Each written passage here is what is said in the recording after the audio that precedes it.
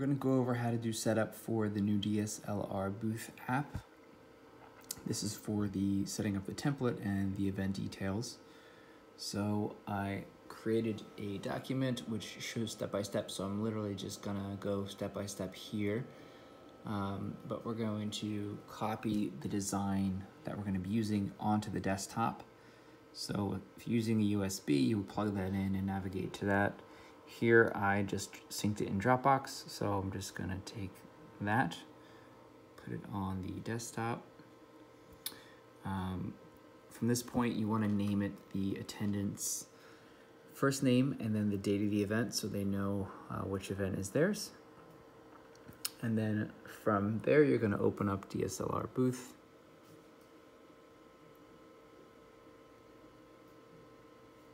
And then you're going to up here, tap on new. So it's gonna be creating a new event.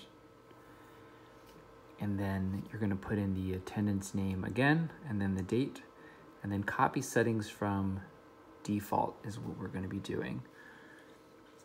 So we're gonna go ahead and pretend we just did that. So from here, we're going to go into the settings and uh, change a couple things. First, we're gonna just start with the template.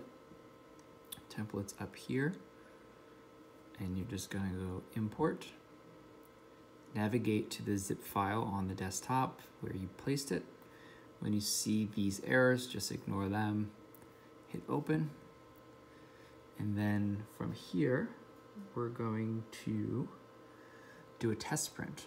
Um, before we do a test print though, we want to close out of this window, come into settings, go over to the printing, and you just want to go to configure.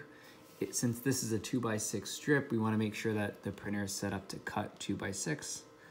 So from here, we're going to see that is, in fact, the printer we have. We're going to go Preferences, Advanced, down to 2-inch cut. It's on-enabled, which is what we need, which is great. If you were doing 4x6 or 5x7, you would disable it.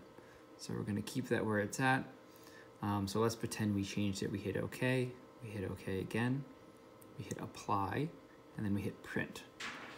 Printing doesn't actually print it in this scenario. So from here, we're going to hit the X. Now we have the template in there and the printer settings set. So we're just gonna do print plus copy.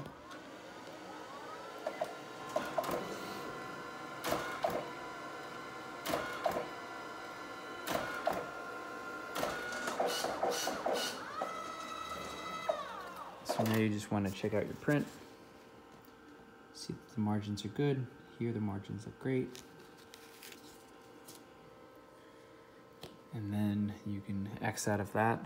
So we're good there. So now we are going to check and see what other things the client's getting. So there's options as far as GIFs, boomerangs, videos.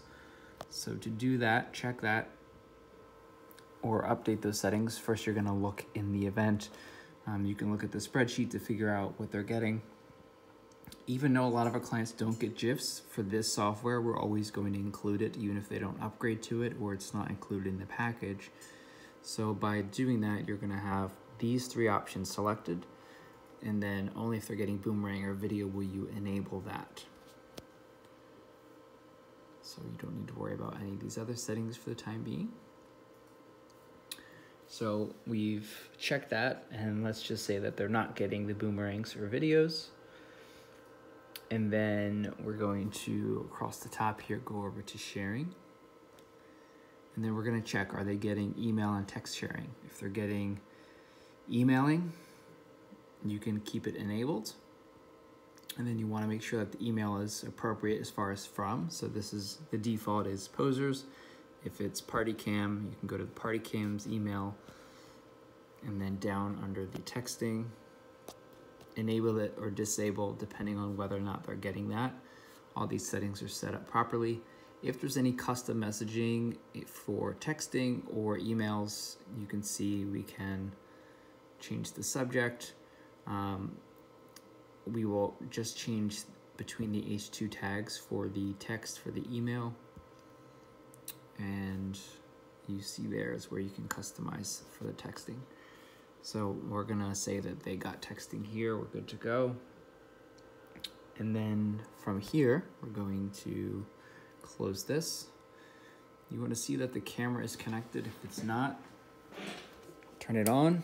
In my case, it was turned on, so I'm turning it off and on again.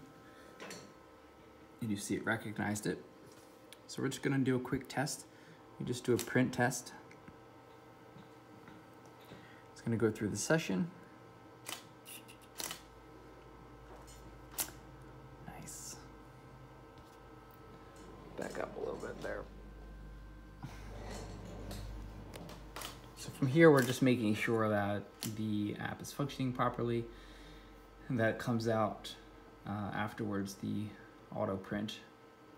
And then show you the other basic functionality from there. Uh, they can also choose color black and white. Next. So this would be full screen for the client. So this would look like this.